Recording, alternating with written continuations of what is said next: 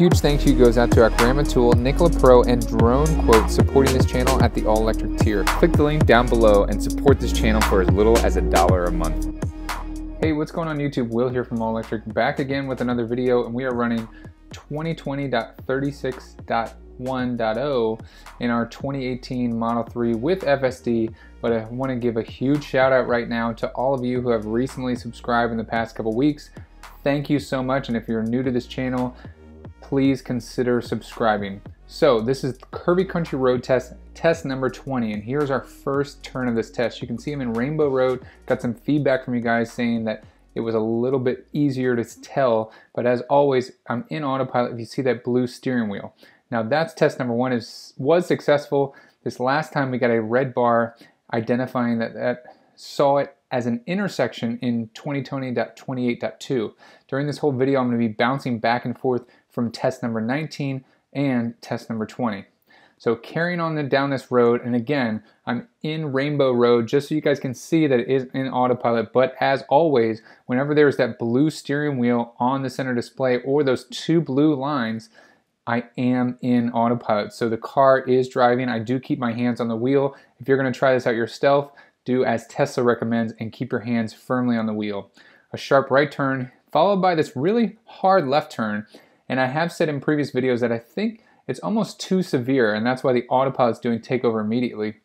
So let's see here, because now I'm gonna go and manually slow down the car to 10 miles per hour, and you can see there's nobody behind me, so I'm able to do that. And you can see it says take over immediately, and I throw my hands up like, what? You can see obviously where the road needs to go, but it still says take over immediately. So here's test number 19 running 2020.28.2 and you can see we're approaching the exact same curve. So I do think that this particular curve is too sharp of a turn for autopilot. Like there's barriers built into the software that won't let the steering wheel turn a certain amount. So here you can see I'm getting way too close to the edge over there. So I really think that autopilot is restricted and it only allows it to turn the wheel a certain degree, like left or right. But let me know what you guys think down in the comment section below. Okay, so autopilot has been re-engaged and I did turn on Rainbow Road for you guys so it's a little bit easier to see when a disengagement does happen. So previously at this hill crest that we are coming up to that the car oncoming just passed over, it has disengaged here and you can see at this hill crest I do get a takeover immediately. So it does fail right there at that hill crest which is not that severe. Now let's jump back to test number 19 and you can see we get the exact same result where it says take over immediately. So I have seen before where on other hill crests, even more severe, like a more severe drop down, and it did not give me the takeover immediately. So let me know if you guys have experienced that as well on some of those more severe kind of hill crests on these back roads.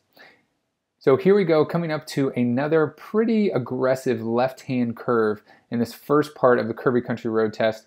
And you can see I'm getting way close to that side over there, so I do end up jerking over. And also, look at my speed. I'm going in at 27 miles per hour versus, let's look back at test number 19. I'm already down to 20, 21 miles per hour, 19 all the way down to 18 miles per hour going through that curve versus in test number 20, Look at this, I'm going into the curve at 27 miles per hour. So me as a driver, it makes me really uneasy. I've got to see the autopilot system slow down a lot more like any normal human would, especially when I'm giving the control over to an autopilot type of system.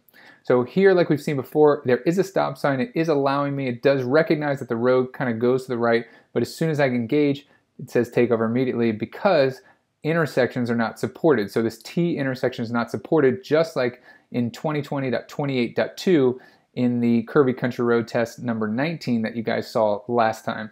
So autopilot is engaged here. Nothing new with back with that T intersection. I knew that it was going to fail, but of course, I think we're going to see something in terms of being able to pass through certain intersections, which I'm really excited about with the autopilot refresh coming up and going out to early access program people really soon. So if I am able to get some of that video for you guys, you can be assured that I will be posting some content on that. So a right hand yield there and I'm not able to use autopilot. Again, I hope that comes where we get navigate on autopilot on city streets. I'm going to slow it down here because it is able to identify the railroad crossing and previously it did require an engagement, but it does not require an engagement here. So kind of interesting. It just identifies the stop sign that's coming up. You can see that car way in front of me, there is a stop sign over the speed bump that it is letting me know that is approaching. But uh, so sometimes it's pretty inconsistent as far as when it does and when it does not require uh, acknowledgement to pass over railroad tracks. So here's one of our aggressive right-hand curves in the test, and you're going to see there's no cars behind me, so I'm able to slow down significantly down to 10 miles an hour. And you can see it first thinks it's an intersection, and then it just says take over immediately. So this curve, just like the curve that we saw earlier in the test, and we got the same result from test number 19, is too sharp for the autopilot to take. So I really think that if the wheel turns a certain degree, the autopilot system is just going to say take over immediately. So let me know if you guys have experienced something similar down in the comment section below. Really sharp right left hand curve coming up here and the autopilot for the past 10 or so updates have performed beautifully on this curve. You saw we stayed relatively in the center of the lane and it's just awesome. Here's test number 19 in the rain, a little bit dark, and it slows down to 25 and just does a great job in the staying in the middle of the lane there. Relatively straight road here in test number 20. So I'm going to fast forward a little bit. We are able to go plus 5 miles per hour over. So you see I have that set to 40 miles per hour, mile per hour zone. Oh, double frantic hand wave. I'm still waiting to run into one of you guys in autopilot and give me the double frantic hand wave back. Still waiting on that though. All right, we're going to slow it down here for this really challenging intersection. It goes to the left, but autopilot wants to steer right into that embankment. So I do have to take over there.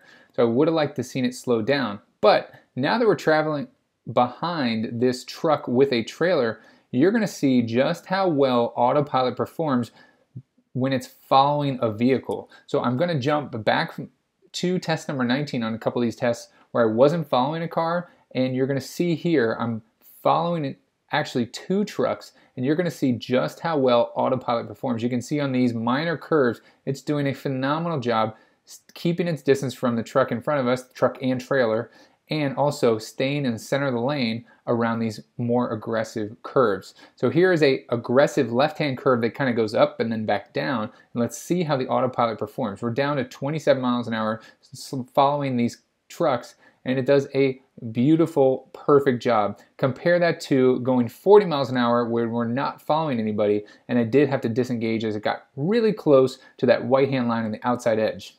Again, we're slowing down significantly because of the traffic in front of us with this right hand curve, and it does a beautiful job, I would say perfect, staying in the center of the lane and keeping its distance. Whereas this one kind of drifted really close to that double yellow line and made me a little bit uneasy with that oncoming huge truck. So the final curve in this curvy country road test is our left-hand curve if you're familiar with this test. So let's slow it down here. Again, we're going 30, 29, 28. You can see autopilot slowing down significantly and it makes that curve a breeze for this autopilot system. Now let's compare that to test number 19 where we're not following anybody. You can see it does still slow down into the curve down to 28, 26 miles per hour. So it is able to pass that curve, but I was a little bit more comfortable when it was following another vehicle. That is it for this test. I really do hope you guys liked this video. If you did, please give it a thumbs up. Thank you so much for watching and please push, push, push, hit that subscribe button and I will see you guys in the next one.